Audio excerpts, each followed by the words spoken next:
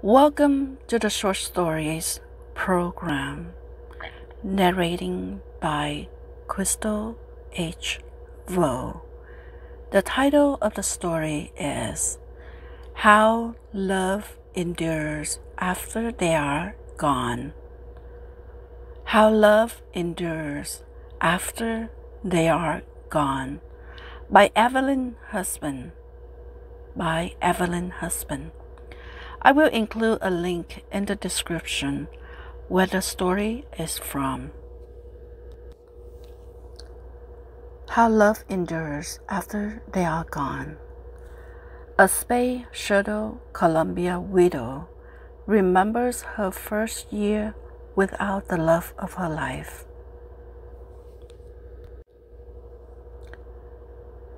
It's been a year.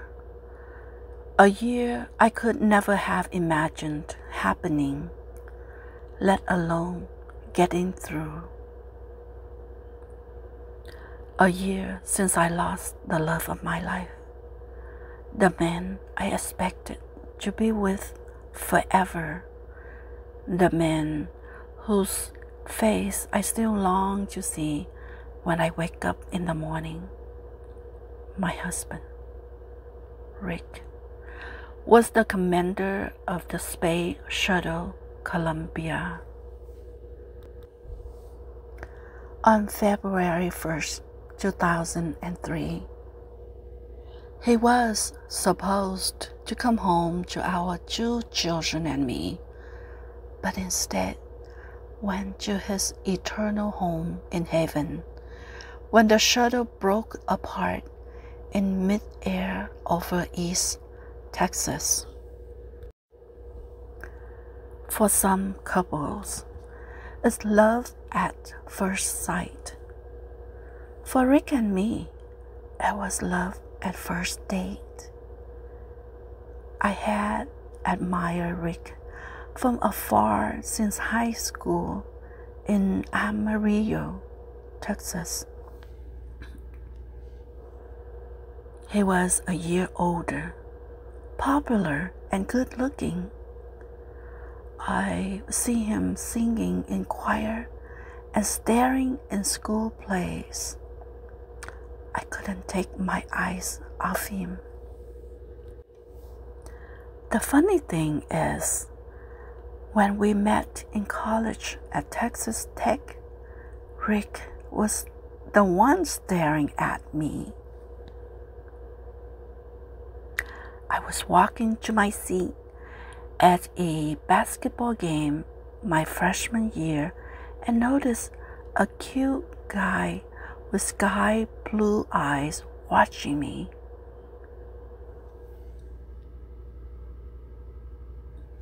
Of course, I recognized him. I waved and said, Hi. Rick was so startled that he didn't say a word until the next day when he called and asked me out. Our first date was that Friday, January 28, 1977. Rick stood in my dorm lobby so tall and handsome. He smiled, and I knew it. This guy was special. The evening proved it. There was none of the usual first day awkwardness. Not even when he knocked over his water at dinner and I had to scoop out of the way to avoid getting soaked. We just burst out laughing. I don't remember a thing about the movie we went to except for how right it felt to have his arm around me. Neither of us wanted the night to end. We park by a lake and look out at the big Texas sky and talk. That's when Rick told me about his dream. He wanted to be an astronaut. He written to NASA for a list of the requirements. A master degree in science, math, or Rick's choice, engineering. A daunting number of hours as a fighter pilot. Better yet, a test pilot, which was why he was going into the Air Force after graduation. Wow, I was beyond impressed. A man with his kind and passion and commitment was the one I wanted to spend the rest of my life with. We dated all through college. I loved everything about Rick his kindness and warmth, his intelligence and integrity, and his closeness to his family. I even loved his quirks, like his offbeat sense of humor. His favorite movie was Young Frankenstein. The first time I saw it, I could say the lines right along with the actors because I heard Rick quote them to me so often. I admire his frugality. Rick would sew up the holes in his socks rather than buy new ones. Keep cars until they fell apart and fill up every square millimeter of a note card. I didn't just love Rick, I totally idolized him. We were married on February 27, 1982, at my church in Amarillo, the same church where my parents and maternal grandparents had their weddings. I loved being married to Rick. That's not to say we didn't have our rough patches. Rick applied three times to NASA astronaut program and was rejected.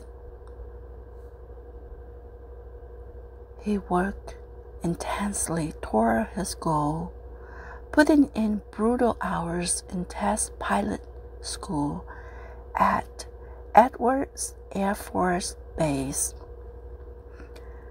then poring over engineering textbooks nights and weekends so he could earn his master's.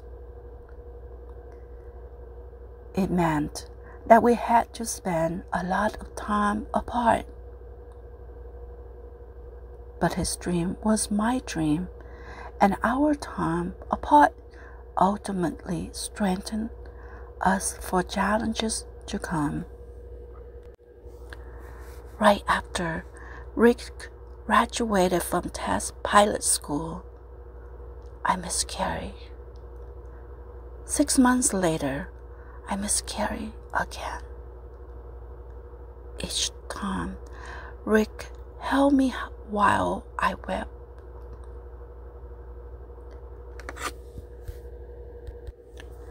We cannot lose our hope, Evie, he said.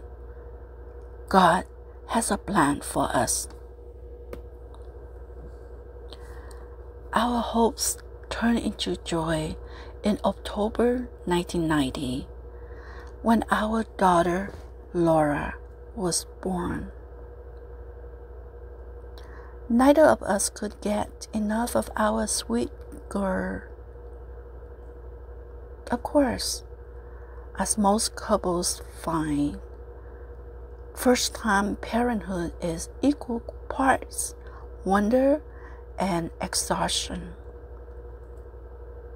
Often, my only respite was reading my Bible while Laura napped. I'll come away energized by God's Word. I talk to Rick about my growing faith, but he didn't seem to understand.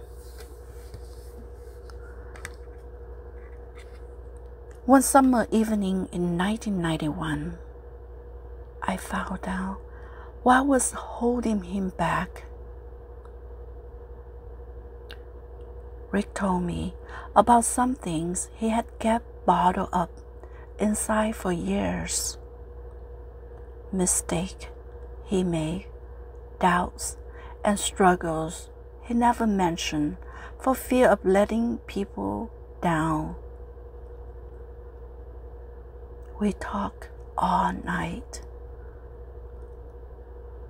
Why hadn't Rick shared all of himself with me until now? I wonder. For the first time, I realized he wasn't the flawless being I built him up to be. It was a spiritual wake up call, as if God was saying, No one is perfect. Sometimes you will face pressures you can't handle on your own. That's why you need me.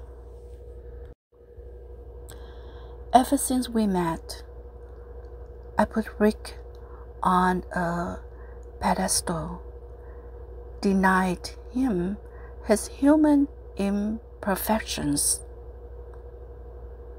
a burden he should never have had to bear. Lord, as much as I love Rick, now more than ever, I know you are the only one who can bear the kind of burden I prayed. Help me learn to put you first in my life.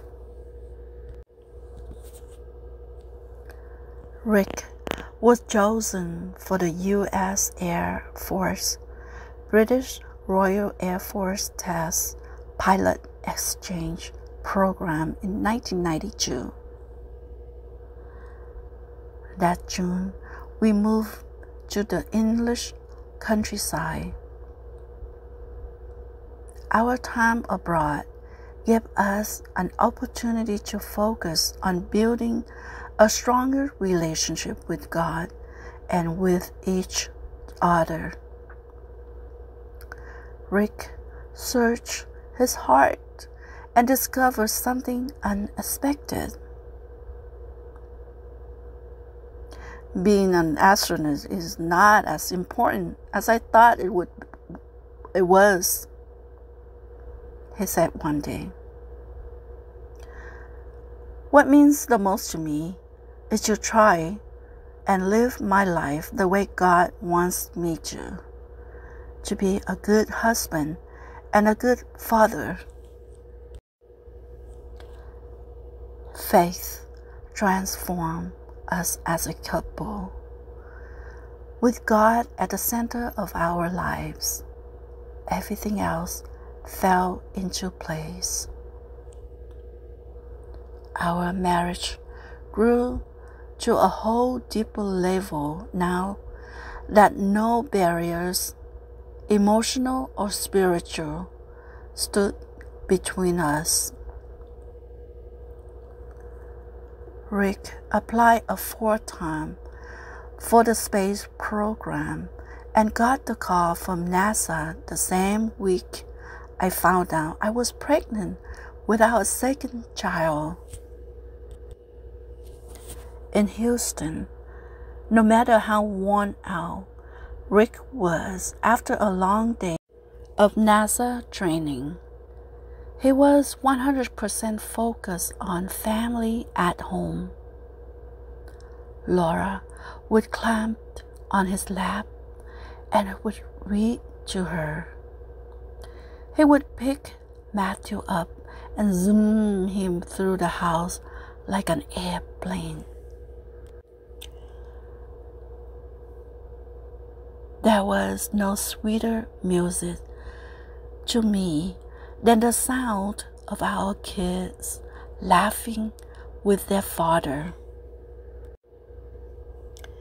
Maybe that's why I was so anxious at Rick's first shuttle mission as pilot of the Discovery in 1999. The memory of the Challenger explosion was also in the back of my mind. I watched Discovery lift off from Kennedy Space Center in a bloom of smoke and flame.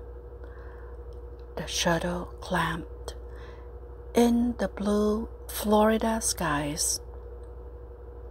Tears rolled down my cheeks, tears of pride and joy for Rick and our family, and of an overwhelming peace that could come only from God.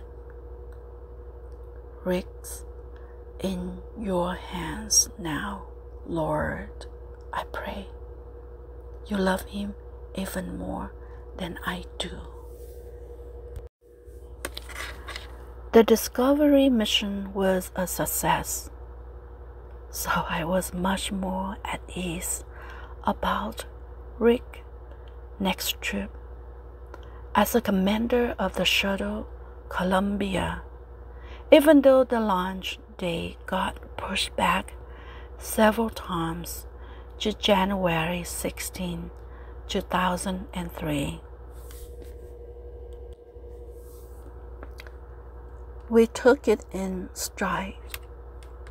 Rick surprised me with a 20th wedding anniversary trip to San Francisco.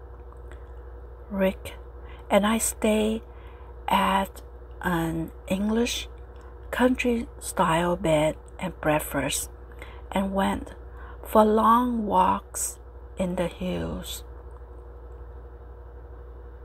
What a wonderful reminder of those years in England that had so deepened our commitment to the Lord and to each other. Just before he moved into crew quarters for the pre launch quarantine last January, Rick filmed video devotionals for Matthew and Laura. He wanted to surprise each of them with a message from Dad every day that he was in space. My message I discovered on my mirror in Rick's familiar handwriting with a bar of soap. I loved you, Evie. I watched the shuttle lift off last January 16, completely at peace, thinking that in a little more than two weeks, Rick would be pulling me into his arms and whispering those words in my ear. Then on February 1st, as the Columbia entered the Earth's atmosphere, it broke apart over Texas. I was like watching my whole life break into pieces and fall from the sky.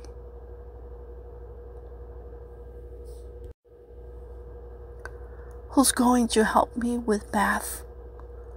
Laura asked. Who's going to walk me down the aisle? I held her close and cried. I couldn't answer. I couldn't think that far ahead. Couldn't imagine life without Rick. Never before had I been so stunned and grief stricken. Yet there was a voice deep inside me that assured me I would be okay. The same voice that had brought me comfort during other rough times in my life. I knew I would have the strength to go on, and where that strength would come from.